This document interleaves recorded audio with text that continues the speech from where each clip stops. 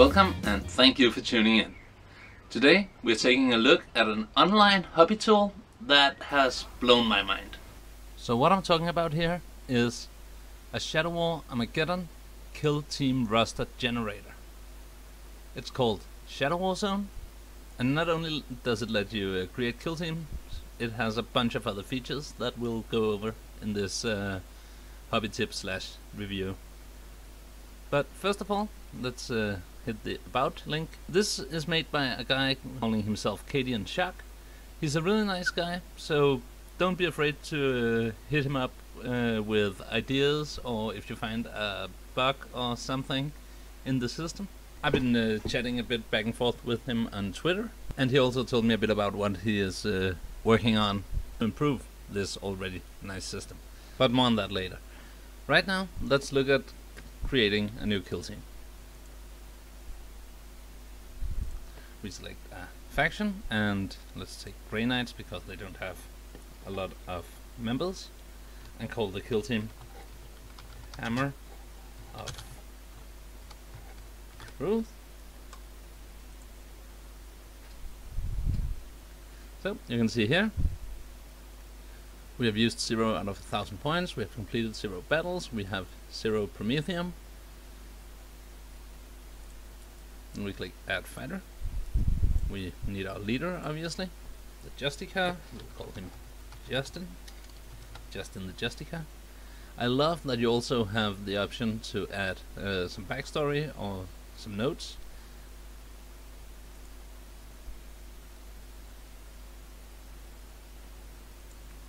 Then we'll add a specialist. We'll call him Mercurian. And lastly we'll add a trooper. And we could name him Tristan.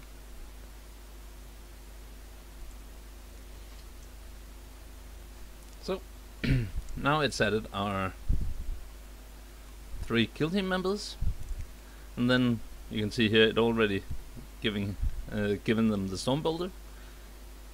so and it tells us that we have to equip the hand weapon so that's pretty neat and let's give him a demon hammer since the kill team is called Hammer of Justice or Truth. And for the gunner, it knows that we have to choose either a special weapon or a hand-to-hand -hand weapon. So we'll give him a psycannon because I love psycannons. They're really cool. And finally, for Tristan, we'll give him a Demon Hammer 2, fitting with the name. So that should be, yep, that's a thousand points. So now we've created a kill team. We click the finalize kill team and OK. And bam, here it is. And if you want an even neater uh, view of it, you can click and see it in, uh, in a more compiled version. And I know that uh, that Cadian Shock is also working on a printable uh, format so that you can just print out your sheet once you clicked it in, which is awesome, I think. And I also uh, talked to him about adding the option to uh, upload pictures of the models or or some cool art that you think represents the the figure to the profile, and and he said that's also uh, somewhere down the down the road. But all this you could technically also do with battle Battlescribe, even though this is just, uh, I think, uh, somewhat and somewhat nicer, and you can feel it's made for Shadow War. But where this really blew my mind is, let's say we've uh, played a game with this three-man kill team. Mercurian has been taken out of action, and we've lost the battle. We say complete battle. They all took part, did anybody suffer serious injury? Yep, Mercurian did. What happened to him?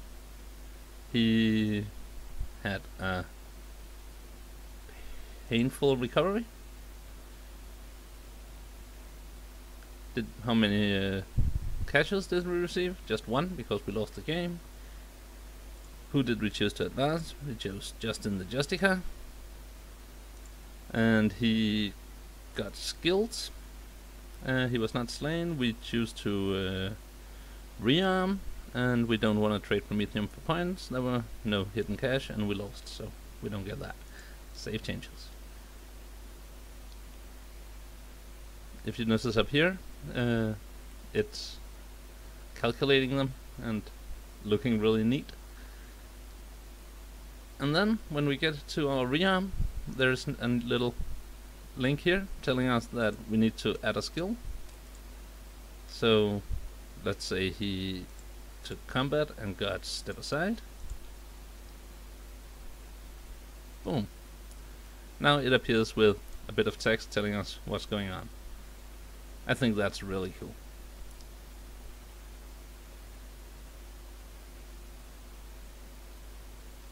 And for our uh, rearm action, we can go in just like when we created the kill team and say let's buy some grenades for him and for this guy we want red dot sight to his cannon and notice how cool it is that it actually asks you what weapon you want to attach it to and stuff.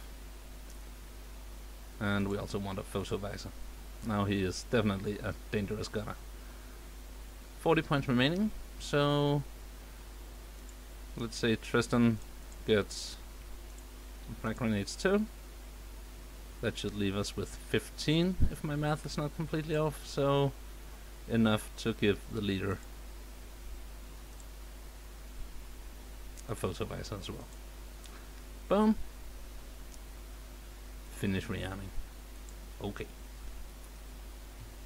And now the value has changed. We can see that we have one completed battle we can see who were in the battle.